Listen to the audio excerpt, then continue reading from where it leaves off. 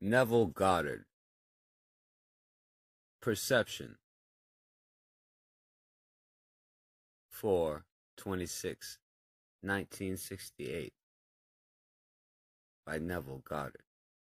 Perception. An essay. There is nothing that appears in perception which cannot be duplicated in fancy. And what the world perceives is all imaginative in character. Here's a graphic example. I'm sure everyone knows what it is to detect the fragrance of a rose. Now, smell is a chemical sense and depends upon contact for perception. But does one really need a rose to detect its fragrance? Cannot its fragrance be reproduced imaginatively? Having smelled an Easter lily, can you not discriminate between the smell of a rose and a lily? Imaginatively? Then they do not exist independent of you, but live on some level or levels of your imagination. Can you call upon your memory of an experience long ago, bring it back, and duplicate it in fancy? If so, then this world is no different from your imaginal one. In 1820, William Blake wrote The Presence of the Divine Teacher, in which he said, Man is all imagination, and God is man, and exists in us, and us in him. The divine body, Jesus, we are his members. In this statement, Blake does not separate the members from the body. The one Spirit, the one hope, the one Lord, the one faith, the one God, and Father of us all. There is only one imaginal body. We are all his members, for we are all imagination. You can reproduce and duplicate any perception you have ever encountered in your imagination. A friend or dear one does not need to be physically present for you to think of him nor do you have to be in your living room in order to see its contents. You can see the plains of Kansas, the mountains of Colorado, or the great Mississippi River without being there. So when we think from the premise of this as a world of imagination, we start on solid ground. For imagination is he who creates reality. There is no fiction in the true sense of the world, for when a state is imagined, it is created. Prayer is imagination drenched in feeling. A desire drenched in the feeling of fulfillment objectifies itself. This I know to be true. So, regardless of what the world thinks, when you reproduce anything in your mind, it takes on form in your outer world. Everything here was once only imagined. The clothes you wear, the chair in which you are now seated, the building which houses you, all were first only imagined.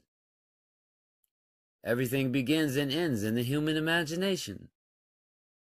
The source of all phenomena is divine imagining, which is God Himself.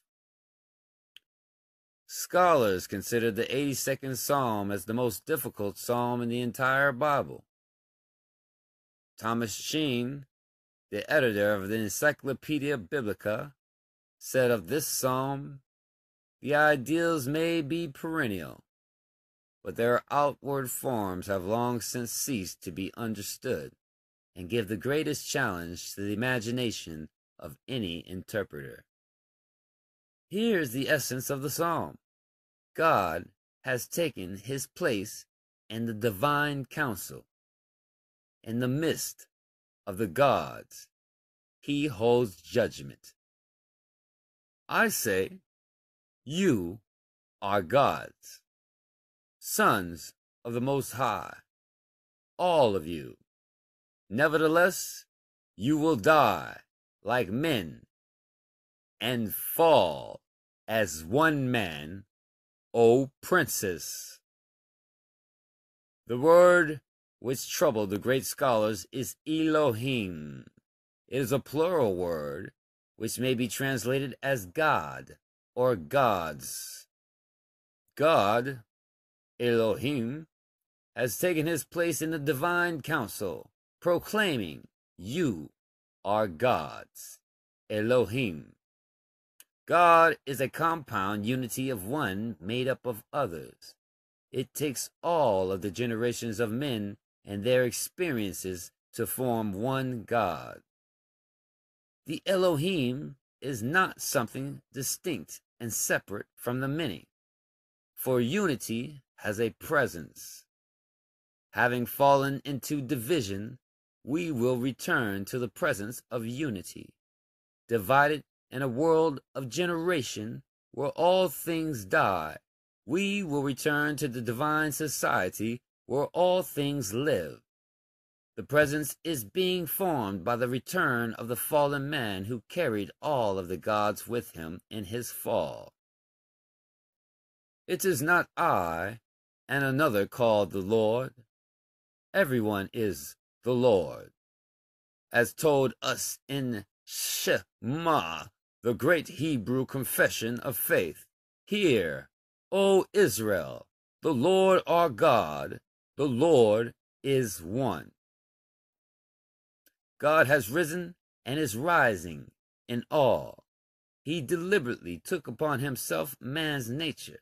By that act of assumption, Jesus Christ became the pattern upon which the nature of man is molded. He didn't take a person called Neville upon himself, but my nature.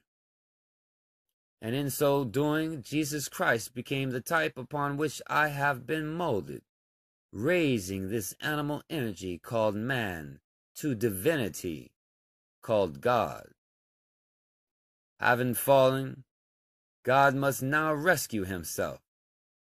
This he will do, for he has prepared the way for his return. You see, no man or group of men killed Jesus. It is he who said, No man takes my life, I lay it down myself. I have the power to lay it down and the power to lift it up again.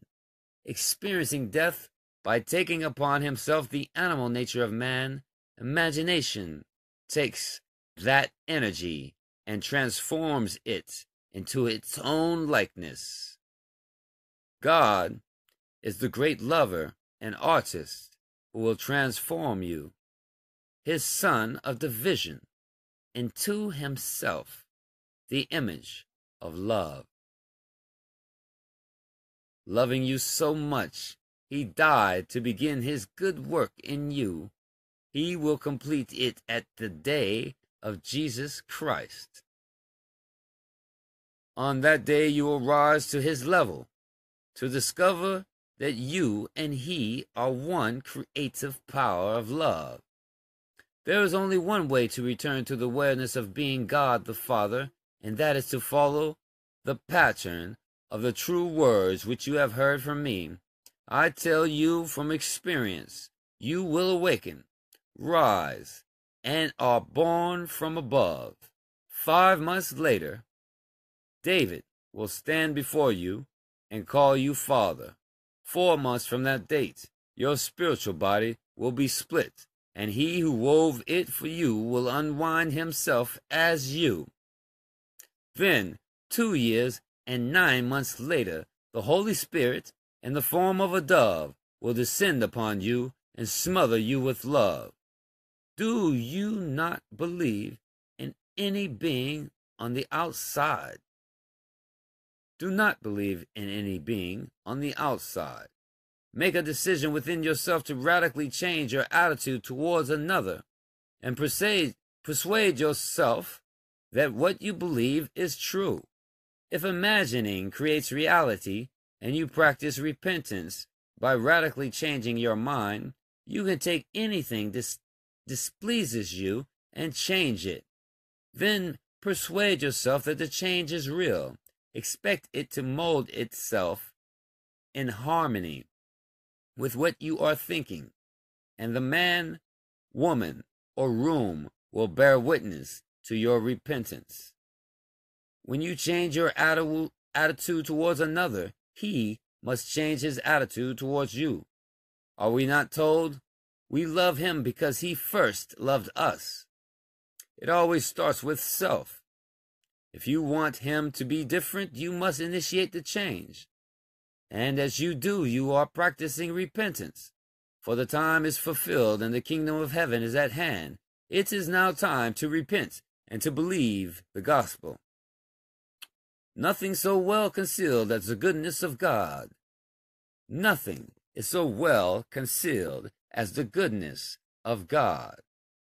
Look around you, and you will see murder, rape, and crime at every moment of time. So how can God be good or loving? It is hard to believe and will not be understood until the end, when that which has been concealed will be revealed. We are told the Spirit of the Lord will not turn back until he has executed and accomplished the intents of his mind. In the latter days you will understand it clearly. Jeremiah 22nd. So in your last days,